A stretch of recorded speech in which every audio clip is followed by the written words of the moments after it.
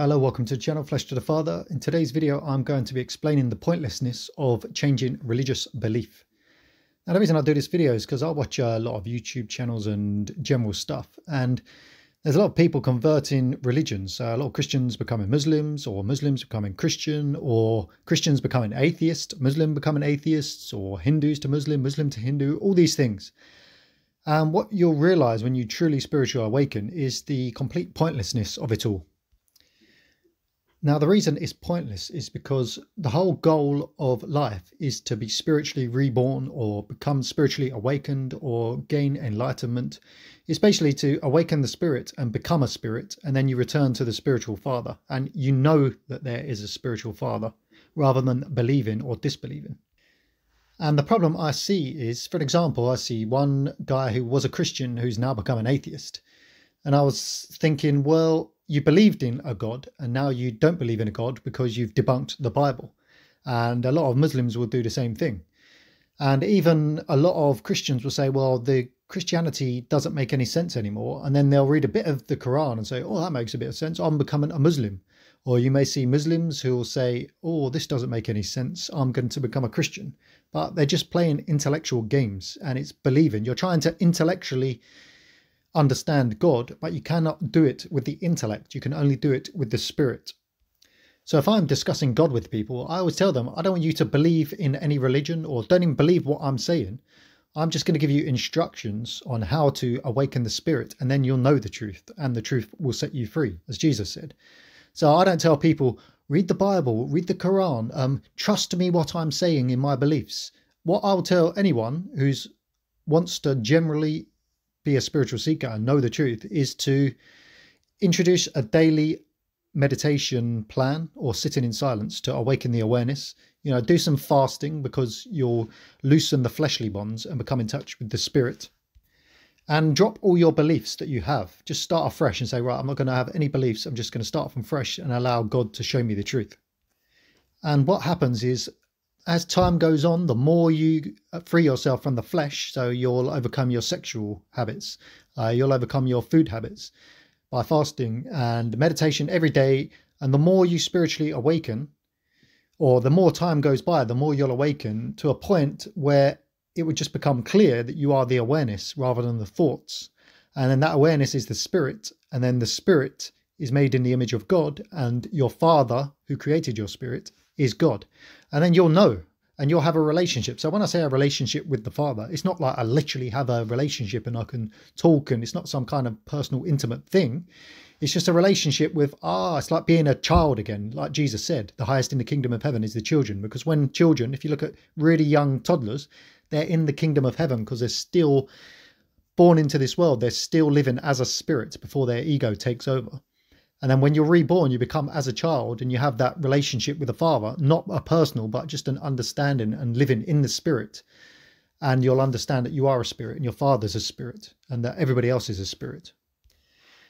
And the problem with belief systems, whether you believe or you disbelieve, is you're not getting to know the truth. And they're trying to understand on a scholarly, intellectual way. And it doesn't matter how many times you read a Bible, how many times you read a Quran, whatever, you're not going to know God and this is why people convert into anybody who I see converting or going, I'm now an atheist, I'm now a Christian, I'm now a Muslim, I can tell that they're not truly reborn. And people who are obsessed with their religion, they're not truly reborn. So if they're like, oh, the Bible says this, the Quran says this, the Gita says this, you're not truly, truly reborn because the scriptures will just confirm what you already know in your spirit. And the parts of the scriptures that make zero sense, you can discard them, no problem, because you understand they're not the word of God. The word of God is written in the spirit within inside. And once you're reborn, you don't need scriptures. You live like the analogy of Adam in the garden. He didn't need scriptures because he had a relationship with the Father. And that's how, when you're spiritually reborn, you become a spirit and you have a relationship with the Father and you're guided by the Spirit. You don't need the scriptures, you just need the Spirit, which is connected to the Father. And then when you sit in stillness and you loosen yourself from the flesh, the spirit of the Father can comes into your spirit, and then you bring that into the world. So all these people going online arguing about uh, I'm now a Christian, I'm now a Muslim, all this stuff, they're just playing uh, intellectual games and egotistical games. rather than seeking and knowing the truth. That's why you can't take them seriously. And for an example, myself, I've done I read the Gita and the Upanishads, which is Hindu texts. And I did some videos complementing the the um, scriptures because I like them because they're more parables and teaching you to return to the spirit within. Just as uh, exactly as how I compared them, very similar to what Jesus Christ talked about.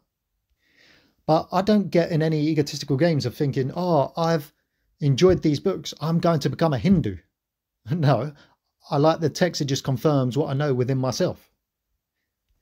And the same with uh, Jesus, it just confirms what I know within my spirit. And also the same in Buddhism when it teaches of enlightenment. So it all just confirms the truth.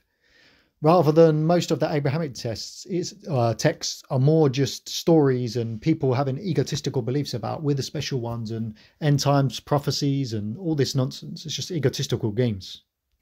But that doesn't free you from the bonds of this world. And that's why Jesus Christ got in trouble with the religious people because he was saying, I'm not here to disrespect the religion, but you're not freeing yourselves. You have to enter into the kingdom of heaven. And that's why the children are the highest in the kingdom of heaven because they are, they come from the spirit and they're still a spirit until the ego takes over.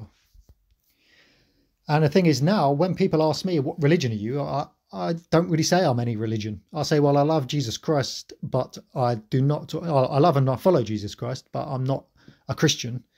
I also have high respect for Hindu and Hinduism and Buddhism, and I'm not a great fan of the Abrahamic religions. That's what I would basically tell people. But mostly, I'm reborn as a spirit, and our Father is a spirit, and we're all spirits, and we're one big spiritual family. That's the truth. Uh, you know, it can't be contained in a religion because God doesn't have a religion. Okay, so that's the point of this video. I'm trying to tell people not to bother having religious beliefs, but to seek the truth. And then, uh, as it says, seek and you will find the truth rather than believing. So belief and disbelief is pointless. You want to know the truth, and the truth dwells within you. You just have to awaken it. So the usual stuff. Uh, subscribe, like the video, comment below, and God bless everyone. Goodbye.